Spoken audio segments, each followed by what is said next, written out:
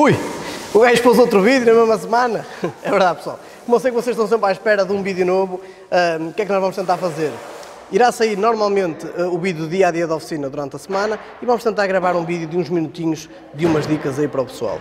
Então hoje temos aqui um Renault Megane 1500 DCI, o cliente queixava-se de um barulho na roda da frente do lado direito, uh, se passasse numa rua uh, com casas de um lado e do outro, o barulho era mais perceptível e ouvia-se um nhec-nhec que estava um bocadinho complicado, complicado de perceber de onde é que era, mas já descobrimos então e eu vou passar para vocês onde é que era o barulho.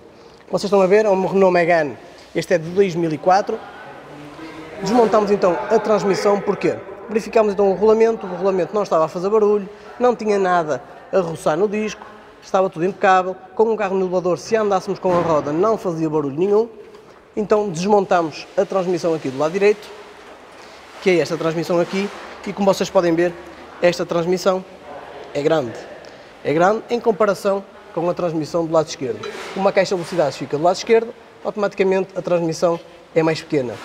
Como aqui necessita de uma transmissão maior, a transmissão sendo grande necessita então de um apoio a meio, onde leva um rolamento para poder andar então sobre o apoio. O rolamento é este aqui e o barulho que o cliente se queixava.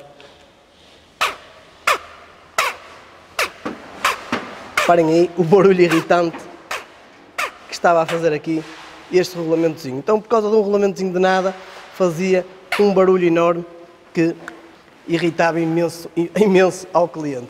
Espero que tenham gostado então desta dica, forte abraço para vocês e até o próximo vídeo.